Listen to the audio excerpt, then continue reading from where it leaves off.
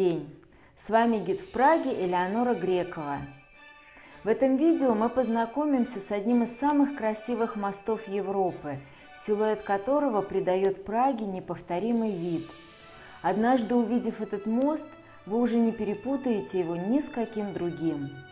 Посмотрите, вот он предстает перед нами во всем своем мощном готическом великолепии – Мост строился в эпоху правления знаменитого чешского короля Карла IV по проекту архитектора Петра Парлержа. Первоначально мост просто назывался Каменный, а с 19 столетия он носит имя чешского короля Карла. Итак, мы с вами на Карловом мосту.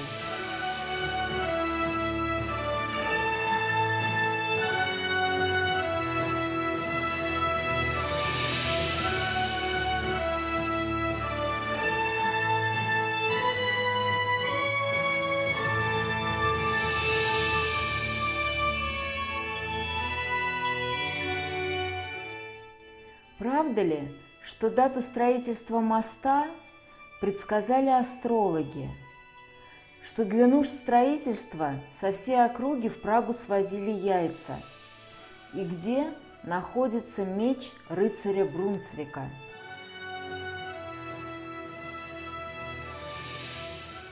Про Карлов мост существует большое количество легенд и преданий. Одна из них связана с основанием моста – будто бы король Карл первый камень при закладке строительства заложил в 1357 году 9 июля в 5 часов 31 минуту. Эту дату ему предсказали астрологи. Если мы с вами представим эти цифры, то это будут только нечетные от 1 до 9 и в обратную сторону. В те времена Такому магическому порядку цифр придавали большое значение. Считалось, что если король выполнит эти условия, то мост простоит века. Современные чешские ученые скептически относятся к этой легенде, поскольку люди в то время, когда строился мост в XIV столетии, не имели возможности определять время вплоть до минут – но кто знает на самом деле, как оно тогда было? Пишите в комментариях, а что вы думаете по этому поводу. Легенда, несомненно, очень красивая. Есть еще занятная история о том, что когда возводился мост, со всей округи привозили яйца. Яйца добавляли в раствор для того, чтобы он более прочно скреплял камни. А жители города Велвары Перед тем, как отправить в Прагу под воду с яйцами, сварили их, ну, чтобы они не побились по дороге. И Вылваровец стало именем нарицательным – глупый. Когда мост реставрировали, то исследователи в растворе не обнаружили следы яиц. Зато выяснили, что мастера прошлого в раствор добавляли вино и молоко. Карлов мост за свою историю выполнял разные роли. По нему ходили люди, возили товары.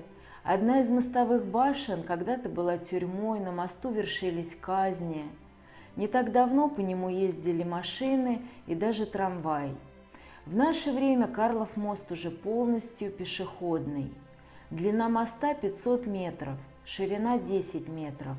Он опирается на 16 каменных опор – сам мост украшают 30 фигур католических святых и отцов церкви, выполненных лучшими мастерами эпохи барокко.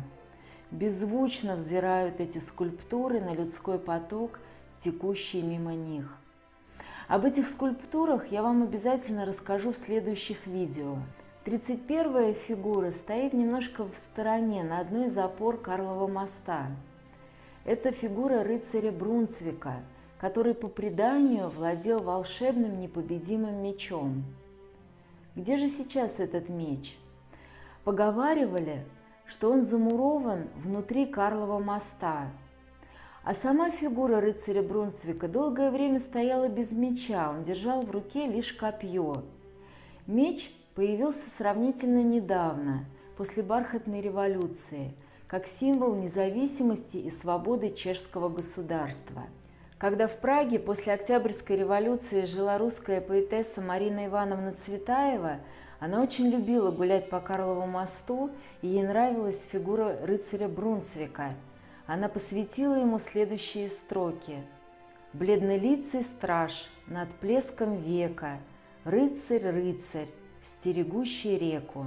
Чтобы в одиночестве предаться размышлениям на Карловом мосту, приходите сюда ранним утром, когда еще практически нет туристов. Спасибо, что смотрите канал.